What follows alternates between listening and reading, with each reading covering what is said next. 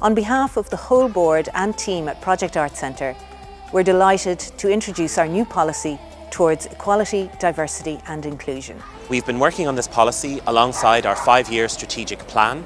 And the commitments in this policy will be threaded through all aspects of the new strategy. We are cognisant of the discrimination experienced by artists, audiences and arts workers.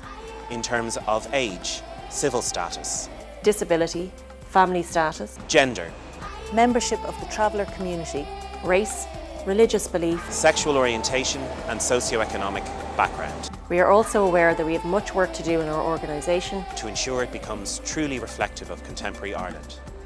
We believe in the value of an equitable, diverse and inclusive artistic and social space. Which buzzes with ideas and experimentation. Connecting people in creative processes that engage with the messiness of lived experiences and challenge the status quo. We want to be a vibrant, welcoming hub that connects a broad diversity of artists, audiences and local communities. Promoting exchange, experimentation and collaboration. And of course, the presentation of extraordinary work that inspires and provokes. Towards equality, diversity and inclusion is largely shaped by a series of recommendations made by an advisory group set up in March 2021. From the outset, the panel members were asked to give particular consideration to four priority areas. The priority areas are sexuality and gender diversity, disability, socio-economic background and cultural diversity. Towards Equality, Diversity and Inclusion confirms Project's commitment to becoming a more equitable, diverse and inclusive space, both physically and conceptually. With more transparent structures and a wider breadth of partnerships and connections. Our actions to make this possible will be in four areas.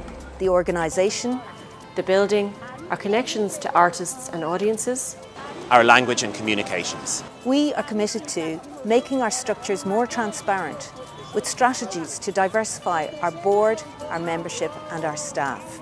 Building equality, diversity and inclusion into all our interactions with artists, audiences and stakeholders. Examining our building and focusing on hospitality. Reviewing and making changes to the way we programme work and with whom. Developing new relationships with resource organisations and local community groups and investing in training so we can ensure we stay up to date in our training and practice. The policy is not an end in itself, but rather a fresh commitment to an important piece of work ahead. In order to ensure the effective implementation of the policy, we have developed clear plans for monitoring and evaluation over the life of our new strategy. You can find full details of our plans, along with the recommendations of the advisory panel on our website www.projectartscentre.ie. You are